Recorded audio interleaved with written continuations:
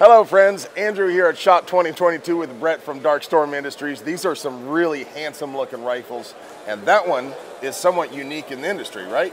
Yes, this is uh, the first of its kind, new for 2022. This is a true small frame 308. Uh, we packed the 308 into an AR-15 platform. All right, so we uh, modified the receiver set. We opened up the mag well. We opened up the ejection port to accommodate that larger 308 casing. And we only needed pre uh, three proprietary parts to make this work out. So we have a proprietary barrel, bolt carrier group, and buffer tube. The rest of the parts in this firearm will use your standard mil-spec AR-15 parts. This gun weighs just 6.7 pounds and recoils like a 5.56. Solid. What about this one? This one here is our variant one. So we wanted something that stood out on the firing line, not just another staple black AR style firearm. Uh, so we added a lot more tool time on this receiver set, a lot more detail. Uh, you can see uh, matching through the upper, the lower, and the handguard. Uh, because it is all one set, uh, the, the tolerances are a bit tighter. We have a Type 3 hard coat anodized base and then finished off with a custom tungsten Cerakote finish. This rifle was actually picked up by a prop house and appeared in several TV series such as The Purge on USA Network and a few Netflix films. This is really nice looking. There are, everywhere you look on this rifle, there are little touches. Yes. Um, your, your branding here on the buffer, you've got the, this takedown pin has the little uh, ring there and makes it a little easier to, to pop out. I've got these stubby little sausage fingers it's hard to get a hold of. and that's super easy to get out.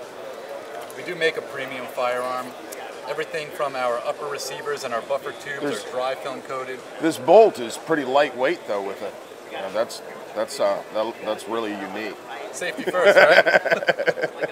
Obviously, if, if you're not familiar, all firearms at SHOT are deactivated. Different companies do it differently. Sometimes they'll just clip the firing pin. Sometimes we'll, it's a lot easier to just remove parts, like the bolt.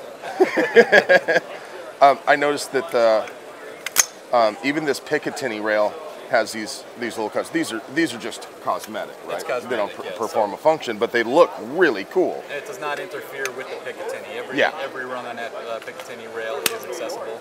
The distance here is still spec. It's just this part is is cosmetically That's cut correct. out. That's and we profile match our handguards with our upper receivers, so we don't have any snag points. You can see that on the DS25 as well. It's a smooth finish all the way through. All this is our, a really um, cool design here. You have these little ears. Just index that, tabs. Yep. yep. Make sure you're lined up correctly.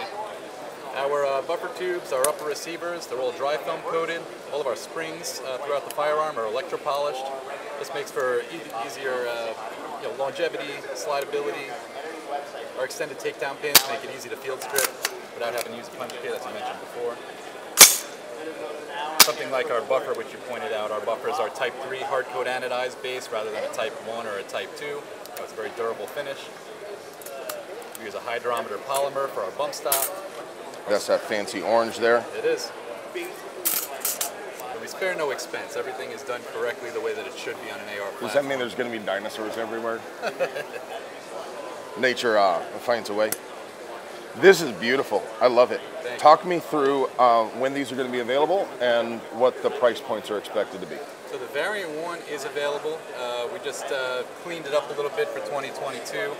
Uh, these are probably around a two to three month lead time right now if you are interested in ordering one of these. The DS25, however, this is still a prototype. We're hoping to get these out on market later this year.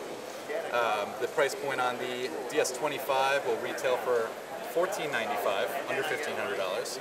The variant one retails for $16.95.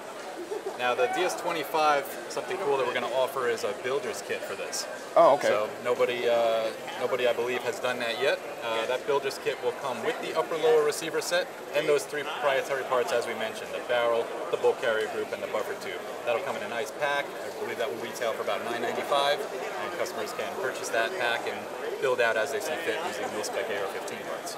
All right, well that's cool and all, but what about folks in like commie states like California? So we are the largest and leading manufacturer for 50 state compliancy AR style firearms. So whichever rifle you would like to purchase, we offer these in five different configurations. We have a So like goofy stocks and, Yeah. magazines, depending on what sort of infringements are in your particular state, you're going to match those. So we have a featureless option, a fixed magazine option, post-ban, non-NFA, and standard. Those are our five configurations. So depending on which state you live in, any of you can uh, purchase and own the DS25 or Variant 1 or any of our models. That's solid. And you can find us on www.dark-storm.com. dark-storm.com. Well, Brett, thank you very much for your time. Thank you so Thanks for putting up with my nonsense. thank you guys for watching. I love you.